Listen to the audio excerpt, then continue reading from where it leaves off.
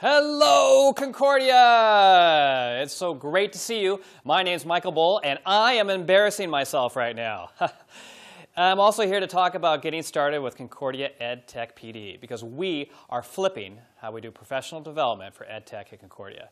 This resource will help you to get started and better understand how we're doing all of this. This course will help you take your first EdTech PD steps for your professional development.